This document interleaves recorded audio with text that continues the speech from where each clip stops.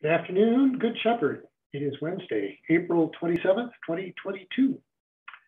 I'm glad to be back uh, from vacation, back in the saddle here. Uh, was a wonderful week away. Uh, spent some time camping near Salida.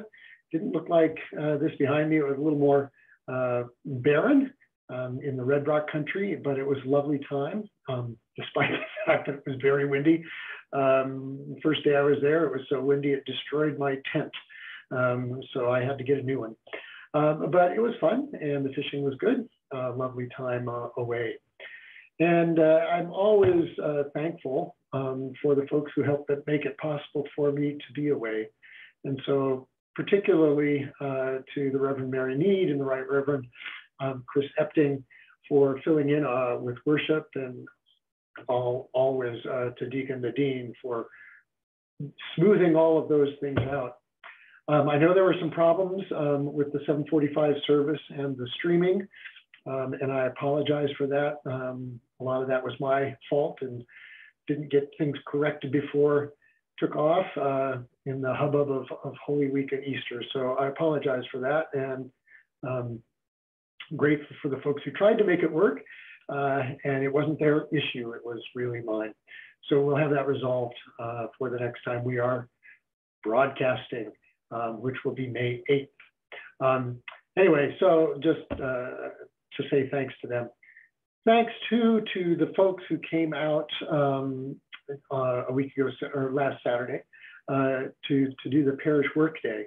Uh, there was a lot of stuff done, and I'm just really grateful for them. Um, I've been in the kitchen. Many of you know that while my uh, uh, kitchen is being, my kitchen at home is being remodeled, I've been doing my dishes here. And, and so I see the kitchen, I see what's going on in it, I see what's going on in the pantry, and boy, there was a lot of really great work that was done on that workday. So to people who worked all around the building, inside and out, thank you, thank you, thank you so much. And a lot of the reason that we did that workday at this point was we were preparing for the bishop's visit.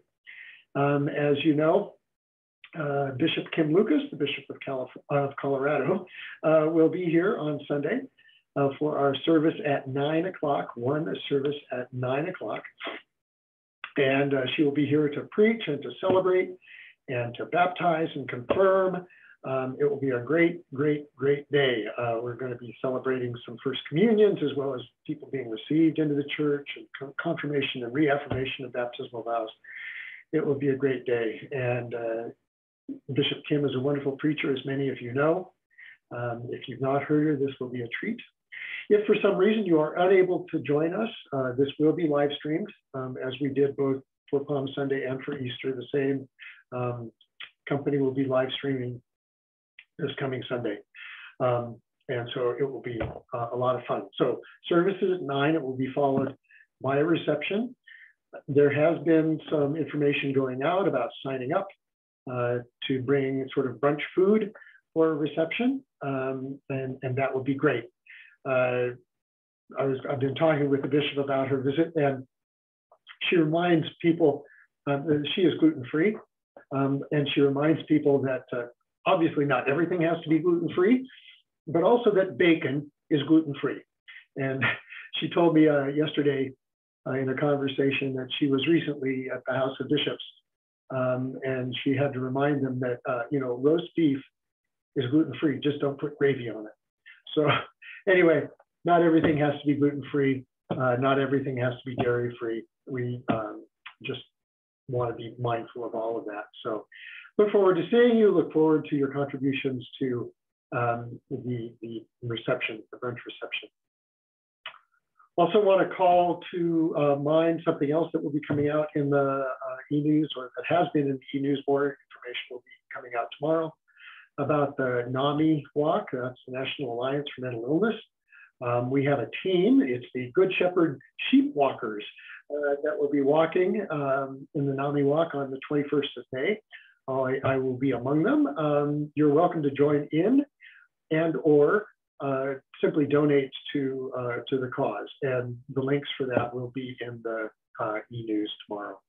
So uh, be there to, to uh, walk uh,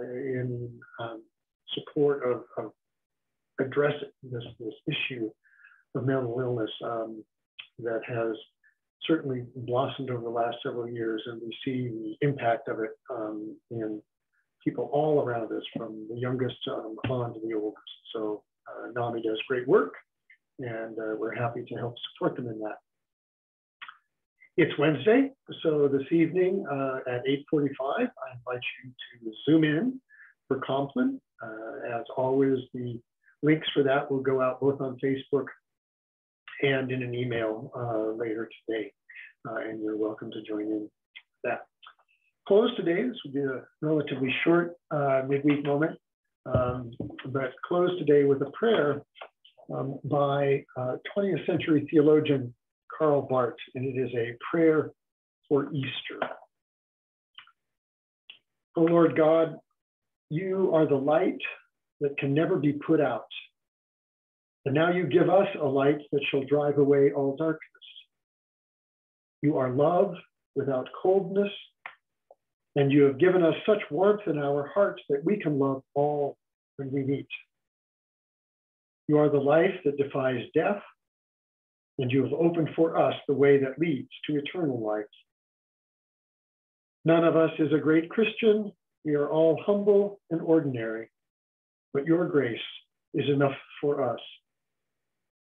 Arouse in us that small degree of joy and thankfulness of which we are capable, to the timid faith which we can muster, to the cautious obedience which we cannot refuse, and thus to the wholeness of life which you have prepared for all of us through the death and resurrection of your Son. Do not allow any of us to remain apathetic or indifferent to the wondrous glory of Easter but to let, let the light of our risen Lord reach every corner of our dull hearts. Amen.